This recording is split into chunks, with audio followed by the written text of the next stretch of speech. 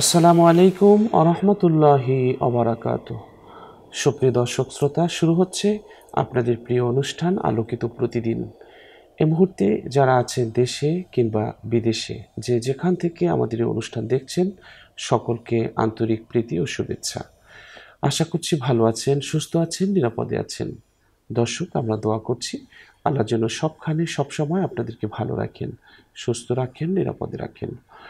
দর্শক আলোকিত প্রতিদিন অনুষ্ঠানে আজ আমরা আমন্ত্রণ জানিয়েছি একজন আপনাদের পছন্দের মানুষকে। চলুন তাকে আপনাদের সাথে পরিচয় করিয়ে দিচ্ছি। আজ আমাদের সাথে আছেন জাতীয় মসজিদ বাইতুল মোকাররমের সম্মানিত পেশ ইমাম বিশিষ্ট ইসলামী চিন্তাবিদ হাফেজ মাওলানা মুফতি মহিউদ্দিন কাশেম। আসসালামু আলাইকুম রহমতুল্লাহ বরকাত ওয়ালাইকুম আসসালাম রহমতুল্লাহ বারাকাত মোহতারাম কেমন আছেন আপনি? আলহামদুলিল্লাহ আপনি ভালো আছেন? আলহামদুলিল্লাহ ভালো আছি। দর্শক, আজ আমরা যে বিষয়টি নিয়ে কথা বলব সেটি হচ্ছে দোয়া মোনাজাতের ফজিলত। চমৎকার একটি বিষয়। আল্লাহর কাছে চাইলে আল্লাহ তালা খুশি হন। মানুষের কাছে বারবার চাওয়া হলে মানুষ বিরক্ত বোধ করেন। কিন্তু আল্লাহ চান যে বান্দা বারবার আমার কাছে আসুক এবং বান্দা আমার কাছে চাক। হাদিসে কুৎসিতে একটি হাদিস এসছে যে আল্লাহ তালা বলেছেন যে, ইয়া ইবাদি লাউ আন্না আউয়ালাকুম ওয়া আখিরাকুম ওয়া জিন্নাকুম ওয়া ইনসাকুম। কম ফি সাইদ, যে পৃথিবীতে যত মানুষ এসেছে, যত মানুষ আসবে, যত জিন, ইনসান আছে, সকলে যদি একটি মাঠে একাত্রিত হয়ে আল্লাহর কাছে তাদের সকলের মনের যে চাহিদা আছে এবং মনের যে মাকসুদ আছে, সেগুলো যদি আল্লাহর কাছে পেশ করা হয় এবং আল্লাহ তালা সব, সবাইকে যদি সেগুলো দেয়া হয় এবং দিয়ে দেন। সবার মনের বক্সে যদি পূর্ণ করে তাহলে সমুদ্রে একটি সুই ফেলে দিয়ে তা উঠালে তার মাথায় যতটুকু পানি আসে, আল্লাহর সম্পদের মহাভাণ্ডার থেকে ঠিক ততটুকু সম্পদ কমবে বা তার চেয়ে কম কমবে। তো আল্লাহর ভাণ্ডার কখনো শূন্য হয় না। তিনি কখনো তার দান মানুষকে কৃতিত্ব জাহির করার জন্য দেন না। তিনি কখনো তার বান্দাকে যেটা দেন, সেটা কোনো মূল্যের বিনিময়ে তিনি বিক্রি করেন না। তো এজন্য আমরা বেশি বেশি তার কাছে যাব বেশি বেশি চাইলে আল্লাহ তালা খুশি হন। হজরত সালমান ফার্সি রাদি আল্লাহ তালা আনহু থেকে বর্ণিত রসুল সাল্লাহ আলাইসাল্লাম বলেছেন, নিশ্চয়ই আল্লাহ তালার সত্তার ভেতর অনেক বেশি লজ্জাশীলতার গুণ রয়েছে। তিনি না চাইতে অনেক বেশি দানকারী। যখন মানুষ চাওয়ার জন্যে আল্লাহর কাছে আল্লাহ তালার সামনে হাত উঠায় তখন সেই হাতগুলো খালি এবং ব্যর্থ হিসেবে ফিরিয়ে দিতে আল্লাহ তালার, আল্লাহ তালা লজ্জা, আল্লাহ তালার লজ্জা হয়। তিরমিজি শরীফ তিন হাজার পাঁচশো ছাপ্পান্ন নং হাদিস। দর্শক আমরা দেখেছি যে যুগে যুগে আম্বিয়াই কেরামগণ নিজের দোয়া এবং মোনাজাত নিজেদের দোয়া মোনাজাত করেছেন এবং তাদের উম্মাদদেরকেও এজন্য নসিহত করেছেন। কোরআনুল কারিমের এর বহু নজির রয়েছে। হজরত আদম আলাইহাসাল্লাম থেকে শুরু করে হজরত নূহ আলাইহাসাল্লাম হজরত হুদ আলাইহাসাল্লাম হজরত ইব্রাহিম আলাইহাসাল্লাম হজরত ইউসুফ আলাইহাসাল্লাম হজরত সোহাইব আলাইহাসাল্লাম হজরত মুসা আলাইহাসাল্লাম ঈসা আলাইহাসাল্লাম সহ আরও অনেক নবীদের দোয়া পবিত্র কোরআনে আল্লাহ তালা উল্লেখ করেছেন। আমাদের আদি পিতা হজরত আদম আলাইহাসাল্লাম আল্লাহর কাছে বিনীতভাবে দোয়া এবং মোনাজাত করেছেন। বলেছেন যে, হে আমাদের প্রতিপালক আমরা নিজের প্রতি, নিজেদের প্রতি জুলুম করেছি। যদি আপনি আমাদের ক্ষমা না করেন এবং আমাদের প্রতি দয়া না করেন, তবে আমরা অবশ্যই ক্ষতিগ্রস্তদের অন্তর্ভুক্ত হব। সুরা আরাফের তেইশ নং আয়াত। তো দর্শক, আমরা আসুন আজকের কীভাবে দোয়া মোনাজাত করব এবং দোয়া মোনাজাতের ফজিলাত কি রয়েছে এবং কতটা গুরুত্ব রয়েছে, এর নানা দিক নিয়ে আমরা আজকের অতিথির কাছ থেকে আলোচনা শুনছি। জি, মোহতারাম। الحمد لولي والصلاة لوليها أما بعد فأعوذ بالله من الشيطان الرجيم بسم الله الرحمن الرحيم ادعوني أستجب لكم إن الذين يستكبرون عن عبادتي سيدخلون جهنم داخرين وقال رسول الله صلى الله تعالى عليه وسلم الدعاء هو العبادة অত্যন্ত চমৎকার একটি বিষয় রব্বুল আলমিনের কাছে দোয়া করা হাদিস শরীফের মাঝে আল্লাহ রসুল সাল্লাহ তাআলা আলাইহি ওয়াসাল্লাম ইরশাদ করেছেন সাল্লাহ মিন ফাজলিহ ফাইনাল্লাহ আজ্জা ওয়াজাল ইউহিব্বু আন ইউসআল। আল্লাহ রসুল সাল্লাহ তাআলা আলাইহি ওয়াসাল্লাম বলেছেন, তোমরা অধিক পরিমাণে আল্লাহ পাকের অনুগ্রহ কামনা করো, আল্লাহ পাকের কাছে চাও। আল্লাহ পাক যে আল্লাহ পাকের কাছে বেশি চায়, আল্লাহ পাক তার, তাকে বেশি ভালোবাসেন। বরং অন্য রেওয়াতে এসেছে মাল্লাম ইয়াস আলিল্লাহ ইয়াগযবা আলাইহি। যেই ব্যক্তি আল্লাহ পাকের কাছে চায় না, আল্লাহ পাক তার উপরে অসন্তুষ্ট হন। তিরমিজি শরীফের রেওয়ায়ত তিন হাজার তিনশো তিহাত্তর নং রেওয়ায়ত। কত বড় কঠিন বিষয়। দুনিয়ার মানুষ মানুষের কাছে চাইলে বিরক্ত হয়, আর রব্বুল আলমিন সেই সত্তা, সেই মহান সত্তা যে মহান সত্তার কাছে না চাইলে রব্বুল আলমিন অসন্তুষ্ট হন। রব্বুল আলমিন কালামে পাকের মাঝে একাধিক জায়গায় বলেছেন উদো নি আস্তাজিব লাকুম। উদো নি আস্তাজিব লাকুম, যে আমার কাছে আমার কাছে চাবে আমি রব্বুল আলমিন তার চাওয়াকে পূর্ণ করে দিব। ইন্নাল্লাযীনা ইস্তাকবিরুনা আন ইবাদাতি জাহান্নামা দাখিরিন। অন্য জায়গায় এসেছে।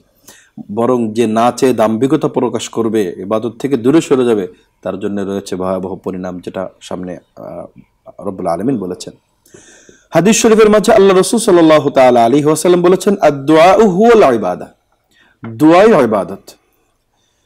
যে যত বেশি দোয়া করবে, আল্লাহ পাক তাকে তত বেশি আপন করে নেবেন।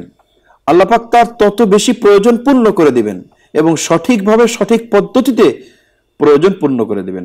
হাদিস শরীফের মাঝে আমরা একাধিক রেওয়ায়তে দেখতে পাই হজরতের সাহাবে ইকরাম যখন যে কোনো প্রয়োজন, যে কোনো সমস্যার সম্মুখীন হতেন রব্বুল আলমিনের কাছে সর্বপ্রথম হাত উঠিয়ে ফেলতেন। রব্বুল আলমিনের কাছে চাইতেন। এমন কি রেওয়ায়তের মাঝে এসেছে, যদি কারও যদি কারও জুতার ফিতা ছিঁড়ে যেত। একটা ছোট্ট বিষয়, তুচ্ছ বিষয় আমাদের দৃষ্টিতে সাহাবা ইকরাম রব্বুল আলমিনের কাছে বলতেন। রব্বুল আলমিনের কাছে চাইতেন, নিজে চেষ্টা করতেন, নিজেরা চেষ্টা করতেন। এটা অর্থ, এটা নয় যে আমরা চেষ্টা ছেড়ে দিয়ে শুধু আল্লাহ পাকের কাছে বলব। আমরা আল্লাহ পাকের কাছে বলব এবং চেষ্টা করব। রব্বুল আলমিন ওই চেষ্টার মাঝে বরকত দান করবেন এবং ওই চেষ্টা দ্রুত সময় আমাকে আপনাকে সফল করবেন। এজন্যে রব্বুল আলমিনের কাছে আমাদেরকে অধিক পরিমাণে দোয়া করতে হবে। হাদিস শরীফের মাঝে এসেছে, আল্লাহ রসুল সাল্লাহ তাআলা আলী হোসালাম বলেছেন দোয়া। আল্লাহ পাকের কাছে দোয়ার থেকে প্রিয় কোনো জিনিস নেই, তিরমিজি শরীফের হাদিস, তিন হাজার তিনশো সত্তর নং হাদিস। লাইসা আকরামা আলাল্লাহি তাআলা মিনাদ দোয়া। দোয়ার থেকে প্রিয় কোনো জিনিস আল্লাহ পাকের কাছে নেই। এজন্য আমাদেরকে অধিক পরিমাণে দোয়া চাইতে হবে, দোয়া করতে হবে। অন্য রেওয়ায়তের মাঝে এসেছে, আল্লাহ রসুল সাল্লাহ তাআলা আলী হাসাল্লাম বলেছেন, ইদা সাআলতা ফাসআলিল্লাহ। ইদা সাআলতা, যদি কিছু চাইতেই হয়, তাহলে কার কাছে চাইতে হবে? আল্লাহ পাকের কাছে চাইতে হবে। তিরমিজি শরীফের হাদিস, দুই হাজার পাঁচশো ষোলো নং হাদিস। ইদা সাআলতা ফাসআলিল্লাহ ওয়া ইদা ইসতাআনতা ফাসতাইন বিল্লাহ। যখন সাহায্য চাইতে হবে, কোনো আমরা অনেক সময় বিভিন্ন মাজারে, বিভিন্ন জায়গায় যাই কিছু চাই, বিভিন্ন মানুষের কাছে আমরা অনেক সময় কিছু চাই। অর্থাৎ অনেক সময় আমরা আমাদের ইচ্ছার, আমাদের চিন্তা চেতনার বাইরে আমাদের থেকে অনেক কিছু শিরিক হয়ে যায়। সেগুলো থেকে আমাদেরকে সতর্ক থাকতে হবে, আমাদের চাইতে হবে, মনে করতে হবে, দেওয়ার একমাত্র মালিক আল্লাহ। আমাদের যে, আমাদের সন্তান কে দিবেন? আল্লাহ দিবেন। আমার প্রয়োজন কে পূর্ণ করবেন? আল্লাহ পূর্ণ করবেন। অনেক সময় রব্বুল আলমিন মানুষের মাধ্যমে পূর্ণ করেন। আমাদেরকে এই মূলনীতি, রব্বুল আলমিন, রব্বুল আলমিনের এই নির্দেশনা প্রিয়নবী মোহাম্মদুর রসুল্লাহ সাল্লাহ তাআলা আলী ওয়াসাল্লাম হাদিসে পাকের মাধ্যমে আমাদেরকে যেটা শিখিয়ে দিয়েছেন, ইদা সাআলতা ফাস আলিল্লাহ যখনই কিছু চাওয়ার প্রয়োজন হয়, আমরা চাইব আল্লাহর কাছে চাইব। এবং যখনই কোনো সহযোগিতার প্রয়োজন হয়, সহযোগিতা আল্লাহর কাছে আমরা সহযোগিতা কামনা করব। কারণ রব্বুল আলমিন যখন দিবেন, অনেক দিবেন। রব্বুল আলমিন যখন সহযোগিতা করবেন, অনেক সহযোগিতা করবেন। দুনিয়ার মানুষ আমাকে মানে যদি দেয়, অল্প কিছু দিবে। রব্বুল আলমিন তো দুনিয়া, দুনিয়ার মানুষের মাধ্যমেই দিবে। এজন্য আমরা প্রথম যে চাওয়া পাওয়াটা, এটা আল্লাহ পাকের কাছে আমরা অবশ্যই চাবো। এটা আমাদেরকে খুব ভালো করে স্মরণ রাখতে হবে। এবং এই চাওয়ার বিভিন্ন পদ্ধতি আছে। বিভিন্নভাবে চাইলে রব্বুল আলমিন খুশি হন, বিভিন্ন সময়ে চাইলে রব্বুল আলমিন খুশি হন, বিভিন্ন স্থানে চাইলে রব্বুল আলমিন দ্রুত দিয়ে থাকেন, এর বিভিন্ন প্রেক্ষাপট আছে। যেমন যেমন ধরুন, হাদিসে পাকের মাঝে আল্লাহ রসুল সাল্লাহ তালা আলী আসাল্লাম বলেছেন, ফাইদা মজা সুলুসুল্লাইল আউ নিসফুল্লাইল নাজালে, নাজালা ইলা সামা ইদ্দুনিয়া যখন রাতের অর্ধেক অংশ অথবা তৃতীয় অংশ যখন অতিবাহিত হয়ে যায়, তখন আসমান থেকে এক বিশেষ তখন রব্বুল আলমিন নিজে দুনিয়ার আকাশে চলে আসেন। ফকল হালমিন সা ইলিন হালমিন সা ইলিন আছে কি কোনো প্রত্যাশী? আল্লাহ আকবার। আছে কি কোনো প্রত্যাশী? ফাউতিয়াহু। আমি তাকে দিয়ে দিব। হালমিন মুস্তাগফিরিন? ফাগফিরালা আছে কি কোনো ক্ষমার প্রত্যাশী ব্যক্তি আমি তাকে ক্ষমা করে দিব? রব্বুল আলমিন বলেন হালমিন তাইবিন? ফাতুবু আলাই আছে কি কোনো ক্ষমা? আমার কাছে ক্ষমা চাইবে, তওবা করবে। আমি রব্বুল আলামিন তাকে ক্ষমা করে দিব। হালমিন দাইন আমি, আছে কি কোনো আমার কাছে আবেদনকারী ব্যক্তি, আমি তার আবেদন পূর্ণ করে দিব। এমনটি, এটা মুসনাদে আহমদের রেওয়ায়ত নয় হাজার পাঁচশো উননব্বই নম্বর রেওয়ায়ত। এই হাদিসের মাঝে কত চমৎকার বলেছেন, রব্বুল আলমিন, বিশ্ব জাহানের সৃষ্টিকর্তা রব্বুল আলমিন প্রতি রাতে রাতের একটি অংশ অতিবাহিত হওয়ার পরে বান্দাদেরকে কত ভালোবাসার সাথে ডাকতে থাকেন? আছে কি কোনো আবেদনকারী, সাহায্য প্রার্থনাকারী, ক্ষমা প্রার্থনাকারী? আমার কাছে চাবে আমি রব্বুল্লা আলমিন দিব। তো রব্বুল্লা আলমিন যখন আমাকে আপনাকে ডাকছেন, আমাকে আপনাকে কিছু চাওয়ার জন্য উদ্বুদ্ধ করছেন, সেক্ষেত্রে আমরা যদি ভিন্ন দিকে চাই অথবা চুপ করে থাকি, এটা অনেক বেশি মানে অকৃতজ্ঞতা হবে। আমাদেরকে রব্বুল আলমিনের কাছে চাইতে হবে, অধিক পরিমাণে চাইতে হবে। কি চাইতে হবে? আমরা চাওয়ার সময় অনেকে দোয়া করে, দোয়ার সময় আমরা দোয়া করে, আল্লাহ আমাকে বাড়ি দেন, গাড়ি দেন। না, সর্বপ্রথম আমাকে চাইতে হবে, আল্লাহ পাকের কাছে হৃদায়ত চাইতে হবে। আল্লাহ পাকের কাছে, আল্লাহ পাকের সন্তুষ্ট চাইতে হবে। আল্লাহ পাকের কাছে জান্নাত চাইতে হবে। সিরাতে মুস্তাকিমের পরে যাতে আমি অটল, অবিচল থাকতে পারি, এই বিষয়টি চাইতে হবে। সেই সাথে আমার যে সমস্ত প্রয়োজনের বিষয়গুলি আছে, রব্বুল আলমিনের কাছে অবশ্যই সেগুলোও চাইতে হবে। কিন্তু চাওয়ার ক্ষেত্রে অগ্রাধিকারের ভিত্তিতে এই বিষয়গুলো আমাদেরকে চাইতে হবে। আমি যদি, আমাকে যদি আমার অনেক বাড়ি, গাড়ি, সম্পদ, অনেক কিছু হলো, কিন্তু আমার হৃদায়ত যদি আমার কপালে না জুটে, তাহলে আমার তো কিছুই হলো না। এই জন্য সর্বপ্রথম আমা, আমি যাতে সিরাতে মুস্তাকিমের পরে, সুন্নতের রাস্তার পর অটল, অবিচল থাকতে পারি রব্বুল আলমিনের কাছে সে বিষয়টি বারবার প্রতিনিয়ত, প্রতি সময়, প্রতি মুহূর্তে রব্বুল আলমিনের কাছে বলতে হবে। ইহদিনা সিরাতল মুস্তাকিম। দেখুন, দোয়ার কত গুরুত্ব, প্রতিনিয়ত আমরা পাঁচ বেলা, পাঁচ ওয়াক্ত নামাজ পড়ি। নামাজের মধ্যে সোরায় ফাতেহা আমরা পড়ি। সোরায় ফাতেহার মাঝে কিন্তু দোয়ার একটি অংশ রয়েছে। ইহদিনা সিরাতাল মুস্তাকিম। ইহদিনা সিরাতাল মুস্তাকিম। এখানে কিন্তু দোয়া দোয়ার একটা শিক্ষা কিন্তু আমরা এই সোরা ফাতেহার মাঝে আমরা পাই। রব্বুল আলমিনের কাছে চাইতে হবে। কি চাইতে হবে? সেই বিষয়টি কিন্তু এখানে বলা আছে। ইহদিনা সিরাতাল মুস্তাকিম, সিরাতাল আনআমতা আলাইহিম গায়রিল মাগদুবি আলাইহিম ওয়ালাদ-দালিন। রব্বুল আলামিন, আপনি আমাদেরকে এই জিনিসগুলো দান করেন। এজন্য আমরা সব সময় আল্লাহ পাকের কাছে অধিক পরিমাণে নিজের জন্য চাব, সকলের জন্য চাবো। সেই ক্ষেত্রে আমাদেরকে স্মরণ রাখতে হবে। অনেক সময় আমাদের যখন স্বাভাবিক অবস্থা থাকে, তখন আমরা আল্লাহ পাকের কাছে বলি, যখন আমরা কঠিন বিপদ মানে যখন স্বাভাবিক অবস্থা আমাদের বিরাজ করে, তখন আমরা আল্লাহ পাকের কাছে দোয়া করতে আমাদের আমাদের অলসতা হয়। কিন্তু যখন বিপদগ্রস্ত হই, তখন আল্লাহ পাকের কাছে খুব অনুনয় বিনয় করে আমরা বলতে থাকি। অথচ রিওয়ায়াতের মাঝে এসেছে, মান সাররাহু আইয়াস আইয়াস্তাজিব আল্লাহু আইয়াস্তাজিব আল্লাহু লাহু ইনদা শাদাইদ ওয়াল কারব ফালইয়াকসুরুদ দুআ ফির রাখা। আল্লাহ রসুল সাল্লাহ তাআলা আলাইহি ওয়াসাল্লাম বলেছেন, যে ব্যক্তি চায় কঠিন সময় কঠিন সময় তার দোয়া আল্লাহ পাক কবুল করেন। সেজন্য স্বাভাবিক অবস্থায়, অর্থাৎ স্বাচ্ছন্দ্যময় অবস্থায় আল্লাহ পাকের কাছে অধিক পরিমাণে দোয়া করে। এভাবে যদি আমরা আল্লাহ পাকের কাছে দোয়া করি ইনশা আল্লাহ সুম্মা ইনশা আল্লাহ আল্লাহ পাক অবশ্যই আমার আপনার চাওয়া পাওয়া অবশ্যই পূর্ণ করবেন। কখনোই বান্দা যখন আল্লাহ পাকের কাছে, বান্দা যখন আল্লাহ পাকের কাছে চায়, হাদিসে পাকের মাঝে আল্লাহ রসুল সাল্লাহ তাআলা আলী ওয়াসাল্লাম বলেছেন প্রত্যেকটা দোয়া প্রত্যেকটা দোয়া যার মাঝে গুনাহের কোনো বিষয় নেই, যার মাঝে আত্মীয়তা সম্পর্ক ছিন্নতার কোনো বিষয় নেই, এমন যে কোনো দোয়া আল্লাপাক কবুল করে থাকেন। কিন্তু এই দোয়ার যেই চাওয়া পাওয়ার বিষয়টি পূর্ণ কীভাবে হয়? হাদিসে পাকের মাঝে আল্লাহ রসুল সাল্লাহ তাল আলী ওয়াসাল্লাম বলেছেন, হয়তো বান্দা যেই দোয়া করেছে, যদি ওই কাঙ্ক্ষিত বিষয়টি ওই আবেদনকৃত বিষ- কৃত বিষয়টি বান্দার জন্য কল্যাণকর হয়। রব্বুল আলমিন কখনো তৎক্ষণাৎ ওই বিষয়টি দিয়ে দেন, আবার কখনো বিলম্বে দিয়ে থাকেন। আর যদি এই বিষয়টি বান্দার জন্য কল্যাণকর না হয়, রব্বুল আলমিন, আলিমুল গাইব রব্বুল আলমিন সব জানেন। একটি ছোট বাচ্চা, সে বাপের কাছে, সে তার পিতার কাছে একটি ছুরি, একটি মোটরসাইকেল ইত্যাদি যে বিষয়টি তার জন্য ওই সময় প্রযোজ্য নয়, এটা যখন আবেদন করে, পিতা বলে, ঠিক আছে বাবা, আমি দেখছি, আমি দিচ্ছি। যখন সে যথাসময় যথা তার জন্য যখন প্রযোজ্য এই বিষয়টি তখন যাকে, তাকে অর্পণ করে। এতে এই সন্তানের এই কথা চিন্তা করার সুযোগ নেই যে আমার পিতার কাছে আমি চেয়েছি, আমার পিতা আমাকে দেয়নি। বরং পিতা সবকিছু বুঝে যেই সময় তার জন্য বিষয়টি প্রযোজ্য, সেই সময় দিয়েছে। তো বাপ যদি তার সন্তানের একটি কল্যাণকর অবস্থার কথা বুঝেন রব্বুল আলমিনকে আমাদের কোন সময় কোন প্রেক্ষাপটে কোন বস্তু প্রয়োজন এটা বুঝেন না? অবশ্যই বুঝেন। কোন সময় আমার জন্য কোন বস্তু বরকতময়, কল্যাণকর, কোন জিনিস আমার জন্য কল্যাণকর, আমার তো প্রয়োজন আমি রব্বুল আলমীর কাছে চেয়ে ফেলেছি। রব্বুল আলমিন যদি দেখেন এই বিষয়টি আমার এই বান্দার জন্য কল্যাণকর নয়, এই বিষয়টি আমার এই বান্দার জন্য বরকতময় নয়, রব্বুল আলমিন সেটা দেওয়া থেকে বিরত থেকে তার পরিবর্তে ময়দানে মাহসারে আজাব থেকে, ময়দানে মাহসারের কঠিন বিপদ থেকে আল্লাপাক এই দোয়ার বরকতে আল্লাপাক তাকে মুক্তি দিবেন। কত বড় কঠিন বিষয়, কত বড় সুন্দর বিষয় এখানে এসেছে। এজন্যে আমা- আমরা অনেক সময় দোয়া করে যদি আমাদের দোয়া কবুল না হয়, আমরা হতাশাগ্রস্ত হয়ে যাই। মুখ দিয়ে এলোমেলো কথা বলে ফেলি রব্বুল্লাহ আলমিনের কাছে এত দোয়া করছি, এত দোয়া করছি রব্বুল্লাহ আলমিন আমার দোয়া কবুল করছেন না। এমনটি কখনো কোশ্চিন কালেও যাতে আমার আপনার মুখ থেকে বের না হয়ে যায়। বরং সব সময় আল্লাহ পাকের কাছে আমি দোয়া করছি, অবশ্যই কবুল হয়েছে, অবশ্যই কবুল হবে রব্বুল্লাহ আলমিন যথাসময় দিবেন। আমার আপনার কাজ ধৈর্য ধারণ করা। আমার আবেদন, এটা সেই দরবার, যেই দরবারের কোনো কথা, যেই দরবারের কোনো আবেদন কখনো ফেরত যাবে না।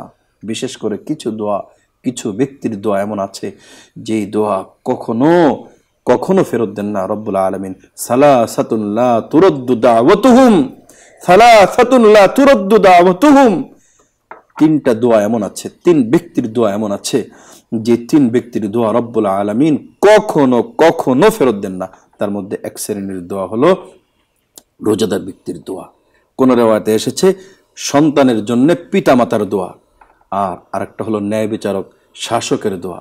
আর তৃতীয় প্রকার হলো ওয়াদাওয়াতুল মাজলুম কোন অত্যাচারিত ব্যক্তি, যার পরে জুলুম করা হয়েছে, যার পরে অবিচার করা হয়েছে, এই অবিচার যার পরে করা হয়েছে, সে যখন আল্লাহ পাকের কাছে, আল্লাহ পাকের কাছে চোখের পানি ফেলে রব্বুল আলমিনের কাছে দোয়া করে, রব্বুল আলমিন এই মজলুমের দোয়া কখনো ফেরত দেন না। হাদিসের সামনের অংশ রব্বুল আলমিন, হাদিসে কুদসি, রব্বুল আলমিন বলছেন কাল বিলম্বে হলেও মজলুম আমি রব্বুল আলমিন তোমাকে সাহায্য করব।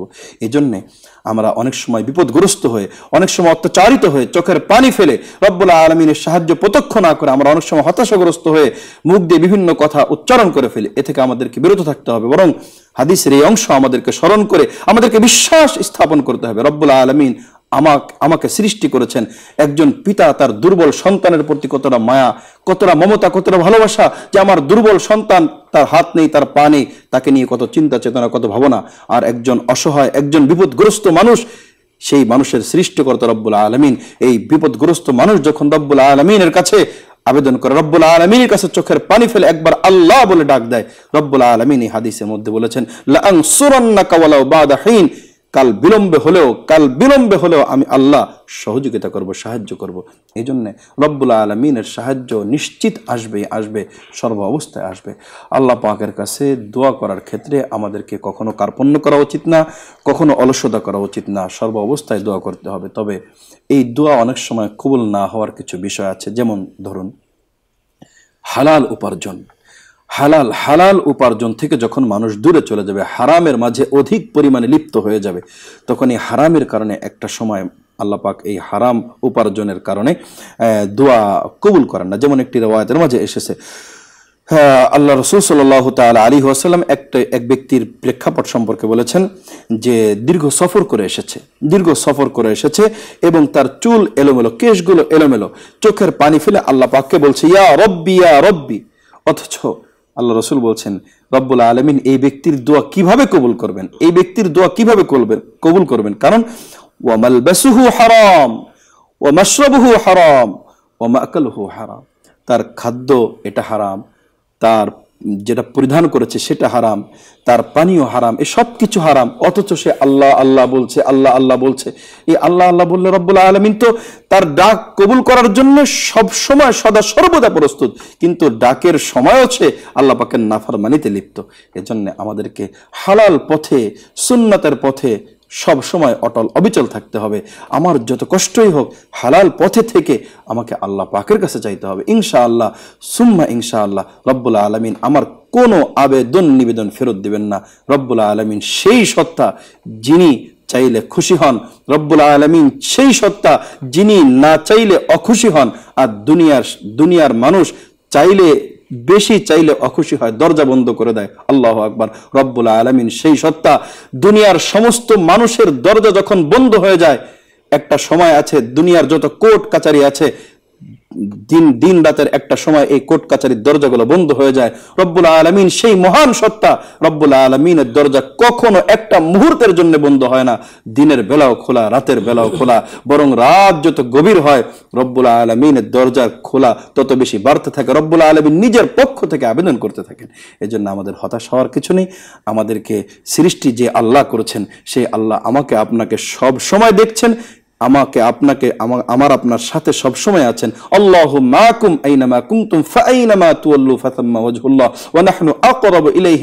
ওয়ারিদ।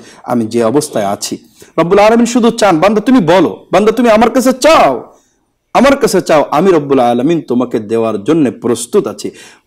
এর অর্থ এই না, রব্বুল আলমী আমাদেরকে এমনিই দিবেন, কিন্তু আমরা যদি চাই রব্বুল আলমিন আরও খুশির সাথে দিবেন, বেশি পরিমাণে দিবেন, এজন্য আমাদেরকে বেশি পরিমাণে রব্বুল আলমিনের কাছে চাইতে হবে। দেখুন শুধু চাইতে হবে চাইলে আমাদের জীবনের প্রয়োজনের জন্য চাবো এবং আমাদের যে সমস্ত ভুল ভ্রান্তি আছে সেই ভুল ভ্রান্তির জন্যও কিন্তু চোখের পানি ফেলে আল্লাহ পাকের কাছে চাইতে হবে। যেমন ধরেন এক রেওয়ায়তের মাঝে এসেছে হজরত আকবর আমের রদি আল্লাহ তাআলা আনহুর রেওয়ায়তের মাঝে রেওয়ায়তের শেষ অংশে যেটা এসেছে আম, আমলিকা আলাইক লিসানাক ওয়াল লিসাকাবিত অবকি আলা অব কি আলা খত চাওয়া চাওয়ার বিভিন্ন ধরন আছে। একটা হলো আমি চাচ্ছি আল্লাহ আমাকে দেন আল্লাহ আমাকে দেন। না আমি আল্লাহ পাকের কাছে কীভাবে চাবো? অব কি আলা ক্ষতি আতিক অর্থাৎ তুমি তোমার জীবনের ভুল ত্রুটির জন্য চোখের পানি ফেলে এরপর আল্লাহ পাকের কাছে চাও। অবশ্যই। হৃদয়ের গভীর থেকে আল্লাহর কাছে চাইতে হবে এবং হলো একনিষ্ঠ ভাবে চাইতে হবে। একনিষ্ঠ দোয়া বা কোনো কিছুতে আর্টিফিশিয়াল করার দরকার তাই করছি এমনটি নয়। এমনটি নয়। একেবারে ভিতর থেকে দেখুন দুনিয়ার মাঝে কখনো কোনো বিশেষ ব্যক্তির কাছে যখন আমরা কোনো আবেদন নিবেদন করি আমাদের কত শিষ্টাচার কত আদব কত কিছু সব কিছু মেনটেন করে লক্ষ্য করে আমরা কিন্তু চেয়ে থাকি। সেক্ষেত্রে আকামুল হাকিমিন রব্বুল আলমিনের কাছে আমার দোয়া হবে আমার আবেদন হবে অবশ্যই কিছু ফর্মালিটি অবশ্যই থাকতে পারে সেগুলো আমাকে লক্ষ্য রাখতে হবে। আর সেই সাথে আমাদেরকে আরেকটি বিষয় দোয়ার ক্ষেত্রে আমাদেরকে লক্ষ্য রাখতে হবে। কিছু বিভিন্ন ভিন্ন ভিন্ন কিছু সময় আছে বিশেষ করে ভিন্ন ভিন্ন সময় আছে, এই সময়গুলো আমাদেরকে লক্ষ্য করে সব সময় আল্লাহবাক দোয়া কবুল করেন। যেমন ধরুন, শেষ রাতে, রাতের শেষ অংশে, শুক্রবারের যে কোনো একটা সময় আছে, যে সময় আল্লাহবাক অবশ্যই দোয়া কবুল করে থাকেন। বিশেষ করে রেওয়ায়তের মাঝে ভিন্নতা এসেছে জুমার নামাজের সময়, দুই খুতবার মাঝে, অথবা বিশেষ করে শুক্রবারে যখন সূর্য অস্ত যাওয়ার আগ মুহূর্তে দোয়া কবুল হয় রেওয়ায়তের মাঝে এসেছে। এই এই সময়ের দিকে লক্ষ্য করে আমরা আল্লাহ পাকের কাছে দোয়া করতে পারি। স্থানের কিছু বিবেচনা আছে যেমন পবিত্র ভূমি মক্কা শরীফের বিভিন্ন স্থান আছে সেই স্থানগুলিতে দোয়া কবুলের বিভিন্ন কথা আছে। তো আমরা আমরা এমনি সব সময় তো দোয়া করব সর্ব জায়গায় তো দোয়া করব। এবং হাদিসে যে সময়গুলো এবং যে স্থানের কথা উল্লেখ আছে সেই। জায়গাগুলোতে সেই সময়ে এবার দোয়া করার চেষ্টা করব। দোয়া করা আমরা চেষ্টা করব ইনশাল্লাহ ইনশাআল্লাহ আল্লাহ পাকের কাছে দোয়া করে আমাদের জীবনকে আমরা ধন্য করার চেষ্টা করব। আল্লাহ পাকের সাথে সম্পর্ক গভীর করার চেষ্টা করব। আল্লাহ পাকের কাছে যত বেশি আমরা দোয়া করব আল্লাহ পাকের কাছে সম্পর্ক কিন্তু তত বেশি গভীর হবে। আর আল্লাহ পাকের কাছে যত বেশি দোয়া করব না যত বেশি দোয়া করব মানে দোয়া থেকে বিরত থাকব সম্পর্ক কিন্তু তত বেশি ঢিল হয়ে যাবে। দেখেন মোনাজাত অর্থ কি? আমরা যে মোনাজাত শব্দ বলি মোনাজাত অর্থ হলো কান ঘুষে অর্থাৎ কানে কানে কিছু বলা। আল্লাহ পাকের কাছে বলছে আল্লাহ আমাকে দেন। অর্থাৎ একান্তে মানে বিনয়ের সাথে গভীর রাতে সকলে ঘুমিয়ে আছে। সিলমান কত আম্মান অন্য রেওয়ায়তের আহ, রেওয়ায়তের মাঝে আল্লাহ রসুল সাল্লাহ তাল আলী হাসলাম বলেছেন সমস্ত মানুষ ঘুমিয়ে আছে। সমস্ত মানুষ ঘুমিয়ে আছে ওই সময়টা তুমি নামাজ পড়ছো। অন্না সুনিয়াম সমস্ত মানুষ ঘুমিয়ে আছে তুমি এই অবস্থায় নামাজরত অবস্থায় আছো। নামাজরত অবস্থায় কিন্তু আল্লাহ পাকের কাছে কিছু বলা যায়। সিজদারত অবস্থায় আল্লাহ পাকের কাছে কিছু বলা যায়। নফল নামাজে। বিশেষ করে নফল নামাজের কথা হ্যাঁ? তো এই জন্য আমাদের এই প্রেক্ষাপটগুলো জানতে হবে। অর্থাৎ আল্লাহ পাকের কাছে যে যে প্রেক্ষাপটে চাইলে আল্লাহ পাক দোয়া কবুল করেন সমস্ত প্রেক্ষাপটগুলো আমাদেরকে জেনে বুঝে সেই অনুযায়ী ইনশাল্লাহ আমল করলে ইনশাল্লাহ আমাদের সম্পর্ক আল্লাহ পাকের সাথে অনেক বেশি গভীর হবে। আল্লাহ পাক আমাদেরকে আমল করার তৌফিক দান করুন। আমিন। দর্শক, আমরা অনুষ্ঠানের শেষ প্রান্তে চলে এসেছি। আমরা দোয়া করার ক্ষেত্রে আমরা যখন কোনো প্রয়োজনে আমরা পড়ে যাই, তখন সকল দরজা থেকে ফিরে এসে শেষ প্রান্তে এসে আল্লাহর দরজায় আমরা আমরা ধর্ণা ধরে থাকি। আসলে ব্যাপারটি এমন নয়। আমাদের প্রথম আল্লাহর কাছে চাইতে হবে। আল্লাহর কাছে চেয়ে আল্লাহর কাছে আবেদন করে সে আবেদন আবেদন মঞ্জুরের জন্য দোয়া করতে হবে এবং ছুটে চলতে হবে। কিন্তু আমরা সব চেষ্টা ব্যর্থ হয়ে তখন আল্লাহর কাছে আসি। এটা করা যাবে না। আর আল্লাহ তালা পৃথিবী যখন ঘুমিয়ে পড়ে, অন্ধকারের চাদর দিয়ে যখন ঢেকে দেওয়া হয় পৃথিবীকে, তখনও কিন্তু মানুষের ডাক শোনেন আল্লাহ তালা এবং যারা জেগে থাকেন তাদের কথা শোনেন তিনি এবং তিনি বোবা, বধির, অন্ধ অন্ধের সবার ভাষা কিন্তু তিনি বোঝেন। সকল প্রাণীর ভাষা তিনি বোঝেন। এজন্য আমরা তার কাছে যাব প্রাণ অন্তর ঢেলে দিয়ে। সম্রাট শাহজাহানের সময়ে একটা লোক একটি বাজারে ভিক্ষে করত। তো সে বাজারে প্রতিদিন ভিক্ষে করে, মানুষ বিরক্ত হয়ে বলল, তুমি একদিন সম্রাট শাহজাহানের দরবারে গিয়ে কিছু চাও, তিনি যা দিবেন তাতে তোমার সারা জীবন চলে যাবে। তো বেচারি পরের দিন সকালবেলা চলে গেল। তো দেখছেন বাদশাহ শাহজাহান তিনি মসজিদে ফজরের নামাজ পড়ছেন। সে অপেক্ষা করছে দরজায়, মসজিদের দরজায়। তো ফজরের নামাজ পড়ে সে কোরআন তেলাত করল দোয়া দুরুদ পড়ল, নামাজ পড়ল, জিকির আজকার করল। এরপর শেষ সময়ে অবুধ শিশুর মতো ঢুকরে কেঁদে যখন চোখের পানি মুছতে মুছতে মসজিদ থেকে বের হলো, তখন মুসাফির ছুটে চলল। সম্রাট শাহজাহান বলল, কোথায় যাচ্ছ তুমি? আমার কাছে কিছু চাইতে এসেছিলে। তুমি কি চাবে না? না চেয়েই চলে যাচ্ছ? মোসাফির বলল, ভিখেরি বলল, আমার জ্ঞানের চোখ খুলে গেছে। সম্রাট শাহজাহানের মতো সম্রাটেরাও কোনো প্রয়োজনে যে বাদশার কাছে অবুধ শিশুর মতো ঢুকরে ঢুকরে কাঁদে। সম্রাট শাহজাহানের মতো সম্রাটরাও যেই সম্রাটের কাছে চায় ভিক্ষার হাত পাতে, আমি আজ থেকে দুনিয়ার কোনো মানুষের কাছে নয়, দুনিয়ার কোনো সম্রাটের কাছে নয়। আমার যা প্রয়োজন সেই সম্রাটের কাছে চাবো, যেই সম্রাটের কাছে সম্রাট শাহজাহানের মতো সম্রাটেরা কেঁদে ভিক্ষের ঝুলি পেতে দেয়। তো আমরা তার কাছে যাব তার ভান্ডার কখনো শূন্য হয় না। আমরা দোয়া মোনাজাত করব।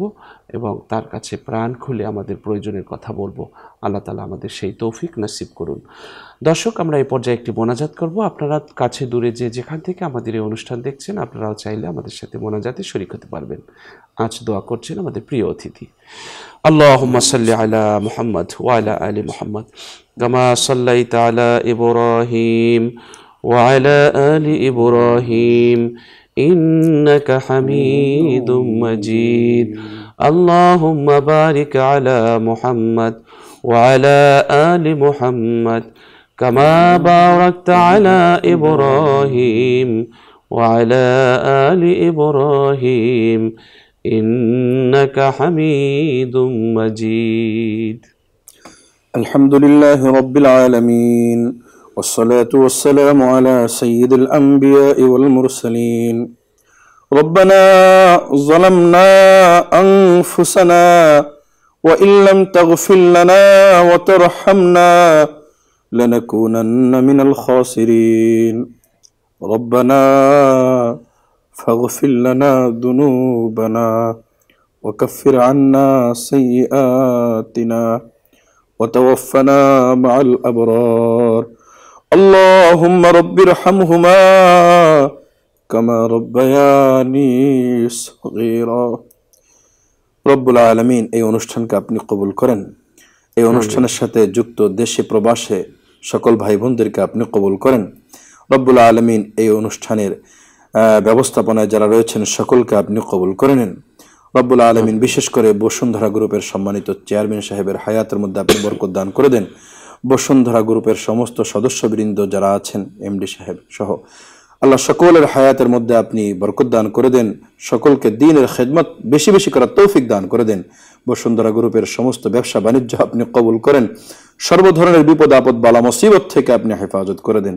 রব্বুল আলমিন আমাদের সকলকে দিনের উপরে অটল অবিচল থাকার তৌফিক দান করে দেন। আমাদের সমস্ত প্রয়োজন আপনার থেকে চেয়ে নেওয়ার তৌফিক দান করে দেন। রব্বুল আলমিন সুখে দুঃখে বিপদে সর্ব অবস্থায় আপনার আপনার কাছে আমরা চাইতে পারি সেই তৌফিক আমাদেরকে দান করে দেন। সর্ব ধরনের শত্রু শত্রুতা থেকে আমাদেরকে হেফাজত করেন।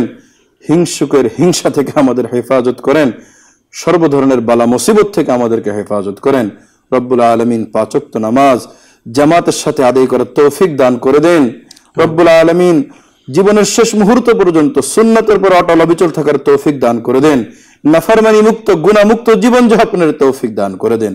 আয় আল্লাহ আয় আল্লাহ যখন জীবনের শেষ মুহূর্ত এসে যাবে, খালি হাতে যেতে না হয় ইমান নিয়ে যেতে পারি, রব্বুল আলমী সেই আমলগুলো বেশি বেশি করার তৌফিক দান করে দেন।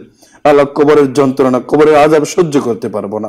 পরকালের যে ঘাটিগুলো অনেক কঠিন, সেই শাস্তিগুলো আমরা সহ্য করতে পারব না। রব্বুল আলমিন এই সমস্ত ঘাটি থেকে, এই ঘাটির আজাব আজাব থেকে আমাদের সকলকে মুক্তি দিয়ে দেন। আমাদের আপনজন আত্মীয় স্বজন যারা অন্ধকার কবরে সাহিত্য আছে, রব্বুল আলমিন সকলকে আপনি জান্নাতের উঁচু মাকাম আপনি দান করে দেন। রব্বুল আলমিন আমাদের সকলকে আল্লাহ, আপনার ঘর বাইতুল্লাহ জিয়ারত না করিয়ে আমাদেরকে মৃত্যু দিহেন না।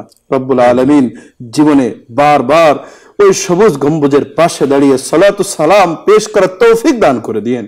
রব্বুল আলমিন আমাদের দেশটাকে আপনি কবুল করে নেন। দেশের প্রত্যেকটা নাগরিককে সুখে শান্তিতে বসবাস করার তৌফিক দান করে দেন। আমাদের দেশকে বিশ্বের মানচিত্রে একটি আদর্শ দেশ, উন্নত দেশ, স্বনির্ভর দেশ হিসেবে আপনি কবুল করে নেন। রব্বুল আলমিন আমাদের দেশটাকে আপনি খনিজ সম্পদ দিয়ে পূর্ণ করে দেন। দেশের প্রত্যেকটা সেক্টরকে আপনি স্বনির্ভর করে দেন, খাদ্য স্বয়ং সম্পন্ন করে দেন। রব্বুল আলমিন যত ধরনের প্রয়োজন আছে, আমাদের এই সুন্দর দেশটাকে আপনি, আল্লাহ আপনি কবুল করে নেন। আমাদের দেশ বাংলাদেশকে গোটা বিশ্বের মানচিত্রে একটি আদর্শ দেশ হিসেবে আপনি কবুল করে নেন। রব্বুল আলমিন, আমরা আপনার কাছে ফরিয়াদ করছি। আয় আল্লাহ, জীবনের প্রত্যেকটা ক্ষেত্রে, আয় আল্লাহ, আমরা যাতে গুণা মুক্ত হয়ে জীবন যাপন করতে পারি। হাতের গুণা, পায়ের গুণা, চোখের গুণা, সমস্ত গুণা পরিহার করে আমরা জীবন যাপন করতে চাই। রব্বুল আলমিন, ইসলামের প্রত্যেকটা বিধানাবলী আমাদের জন্য সহজ করে দেন। রব্বুল আলমিন কোরআন কোরআনে করিমকে ভালোবাসার তৌফিক দান করে দেন, কোরআনে করিম তেলাওয়াতের তৌফিক দান করে দেন, কোরআন অনুযায়ী, হাদিস অনুযায়ী জীবন গড়ার তৌফিক দান করে দেন। রব্বুল আলমিন আমাদের জীবনের একটা সময় যাতে আমাদের থেকে অলস ছুটে না যায়। প্রত্যেকটা মুহূর্তে আমরা আপনার স্মরণ করতে পারি। আপনার স্মরণে আমাদের সময় যাতে কাটে, সেই তৌফিক আমাদের সকলকে দান করে দেন। রব্বুল আলমিন সমস্ত মহামারী, সমস্ত আজাব গজব থেকে আমাদেরকে, আমাদের সমাজকে, আমাদের দেশকে, গোটা বিশ্বকে আপনি হেফাজত করে দিন। রব্বুল আলমিন আপনার কাছে ফরিয়াদ করছি। আমাদের পরিবার, পরিজন সকলকে আপনি কবুল করে নিন। আমাদের পরিবার, পরিজন যারা অসুস্থ আছে সকলকে আপনি পরিপূর্ণ হবে, শিফা নসিব করে দিন। রব্বুল আলমিন গোটা দেশে, আয় আল্লাহ যত দিনের কাজ হচ্ছে যত দিনের খেদমত হচ্ছে সমস্ত দিনের খেদমতগুলোকে আপনি কবুল করে নেন। সমস্ত দিনের প্রতিষ্ঠানগুলোকে আপনি কবুল করে নেন। সমস্ত দিনের খাদিমিনকে আপনি কবুল করে নেন। এখলাসের সাথে দিনের প্রচার প্রসার করার তৌফিক দান করে দিন। রব্বুল আলমিন আয় আল্লাহ আয় আল্লাহ আয় আল্লাহ আপনার কাছে আমরা হায়াতে তৈবা রব্বুল আলমিন আপনার কাছে আমরা হায়াতে তৈবা কামনা করছি। আমাদের সকলকে আপনি নেক হায়াত দান করে দিন। আল্লাহ ইন্না নাসআলুকা ঈমানান দাইমা ويقينا صادقا وعلما نافعا وعلما نافعا وعملا متقبلا ورزقا واسعا حلالا طيبا مباركا. اللهم احسن عاقبتنا في الأمور كلها وأجرنا من خزي الدنيا وعذاب الآخرة. واجرنا من خزي الدنيا وعذاب الآخرة. اللهم احفظنا من كل بلاء الدنيا وعذاب الآخرة. اللهم احفظنا فإنك خير الحافظين. اللهم انصرنا فإنك خير الناصرين. اللهم اغفر لنا فإنك خير الغافرين.